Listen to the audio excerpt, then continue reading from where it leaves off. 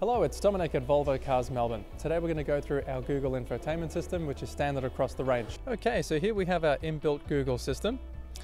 The main purpose of this screen is to serve four purposes, your navigation, your music, your phone with Apple CarPlay, and your air conditioning at the very bottom. Starting from the top, we have maps. Uh, the car comes with a four-year digital subscription. All our cars uh, in Australia come with that service. And what that allows is our comprehensive voice control, uh, live traffic with, uh, with roadblocks,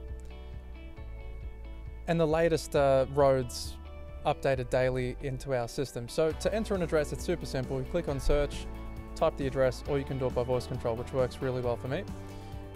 Next up, we have our radio. Uh, DAB is standard on all the cars, and there's, I'd say, close to 100 radio stations are standard. The third service is your phone for calling, recent calls, favorites, and your Apple CarPlay.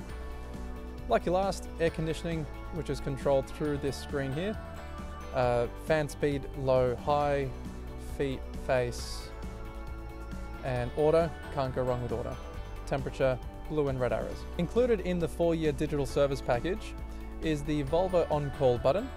This will allow you to speak with Volvo Roadside the SOS button, which will connect you to emergency services, and access to the Volvo Cars app. With this, you'll be able to remotely lock and unlock the car, uh, pre-cool or preheat the car, and check the charge status of your car. You can also find the car on a, on a map. Alongside this, uh, you'll have access to the Volvo uh, uh voice control system. Here's an example. What time does Volvo Cars Melbourne close today? Volvo Cars Melbourne closes at 5.30 p.m. We invite you to experience the technology for yourself here at Volvo Cars Melbourne. Have a great day.